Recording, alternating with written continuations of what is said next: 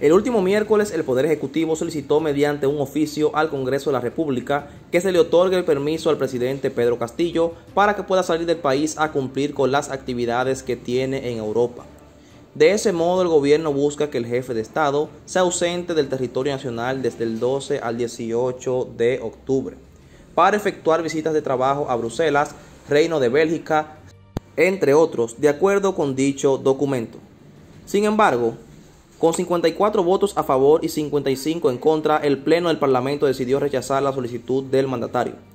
Para el analista político y exintegrante del Grupo Especial de Inteligencia del Perú, José Luis Gil, esa segunda denegación para que Castillo Terrones salga del país es una postura política del pueblo peruano a través del Congreso, porque este personaje en cada viaje que ha hecho ha dejado muy mal a Perú.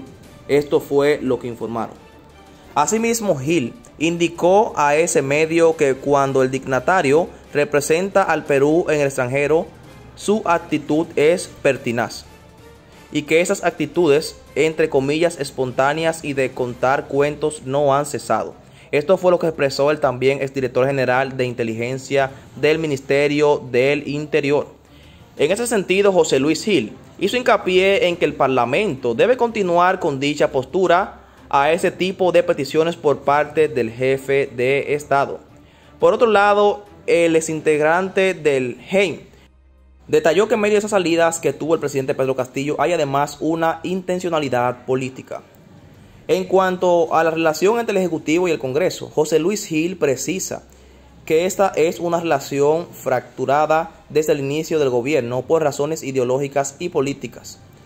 Esa relación no va a ser restituida con nada y tampoco debe serlo. Esto informó.